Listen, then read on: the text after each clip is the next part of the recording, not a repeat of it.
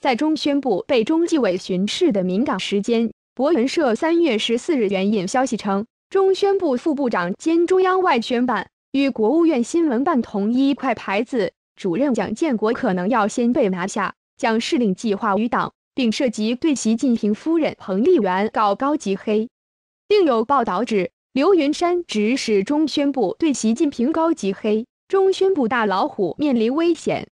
蒋建国今年十二月将满六十岁，但是否能挨到年底退休的年龄是很大的问题。也许中纪委这一轮对中宣部的巡视，就会先把他拿下，这是有可能的。知情人士透露，蒋建国二零一五年初调任中宣部副部长兼中央外宣办主任后。毫无创新作为，秉承的还是以前做的那一套外宣模式，陈旧不堪，屡遭外界诟病。蒋建国还分管央视，央视今年的春晚令人失望不说，还因一件通天事件把习近平夫人彭丽媛扯进来，惊动彭办。传闻说彭很不高兴。据称，春晚节目播出后，央视向媒体公布了春晚节目制作团队名单中。赫然出现一个名叫彭丽娟的营运总监，由于该名字跟彭丽媛的亲妹妹同名，立即引起外界关注。网民以讹传讹，将此彭丽娟当成彭丽媛的妹妹。随后舆论越传越玄，指彭丽媛的妹妹已调入央视，成为制片人，未来接掌央视文艺部等等，引发舆论哗然。有人借此攻击习近平、彭丽媛夫妇。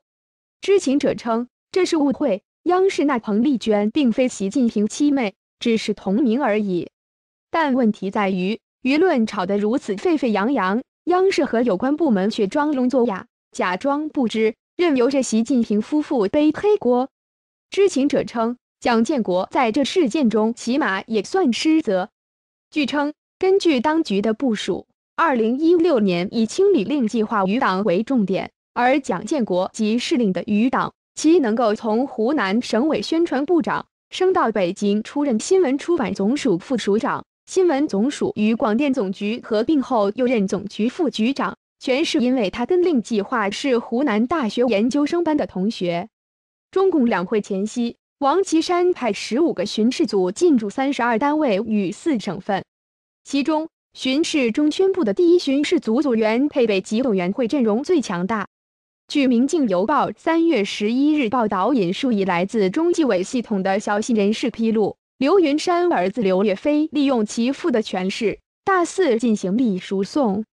刘云山是江泽民的亲信，为了确保权位和今后家族安全，指使中宣部系统对习近平进行高级黑。这名中纪委官员表示，中共宣传系统有数名身居要职者面临双规、调职、贬职的情况。这是肯定的，